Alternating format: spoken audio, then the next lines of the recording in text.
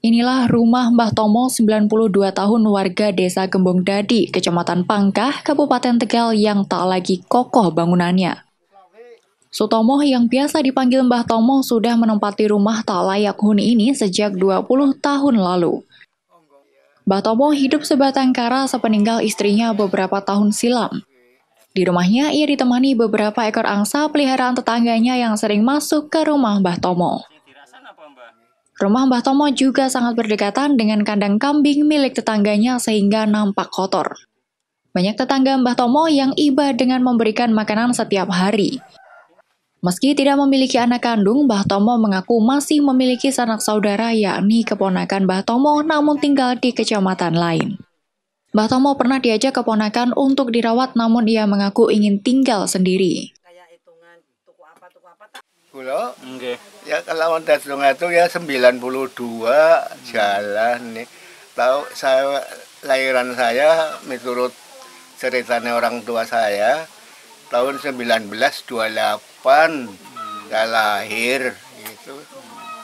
Jadi perhitungan saya sampai sekarang ini 92 jalan gitu. Kalau sekarang tahun 2020 begitu. Ini nggak bisa melihat ya Mbak? Non? Matanya bisa melihat nggak Mbak? Nggak bisa, dari gelap. Di usia Mbah Tomo yang nyaris satu abad ini, selain sudah tidak bisa melihat, pendengarannya pun sudah mulai menurun.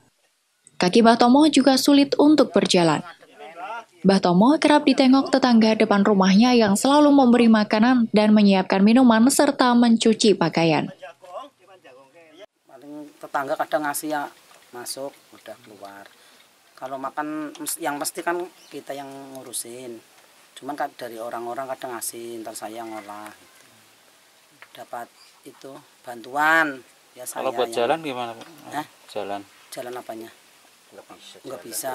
Aktivitas sehari-hari? Kan kayak nyuci ya kita yang nyuci. Hmm. melihat juga nggak bisa bu? Lihat nggak bisa itu makan aja. hmm disodorin makan lampain ikut tretean hmm. kalau mau jalan ya kadang ya tretean. merangkang kadang tretean ini ngomong Mbah Tomo pernah bercerita kepada tetangganya ia ingin ada dermawan yang memperbaiki rumahnya hingga layak ditempati. Mbah Tomo menempati tanah milik orang lain yang lokasinya berdekatan dengan tanah makam.